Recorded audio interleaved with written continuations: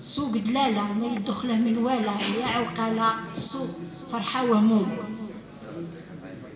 الشاري والبايع دلالة. ما زالوا لليوم صناع الوحدة والوحدة هي الأمنية والمال.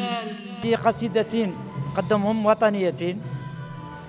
فعندي القصيدة الأولى عنوانها الشهيد والثورة وهذه القصيدة هي في الحقيقة للوحدة الوطنية. سطرت دار الثقافة علي معاشي برنامجا جد ثريا متمثل في آه، أيام الشعر الشعبي والأغنية البدوية حيث شارك آه، العديد من فحول آه، شعراء مدينة يارت في الطابع الملحون وأيضا فرق محلية.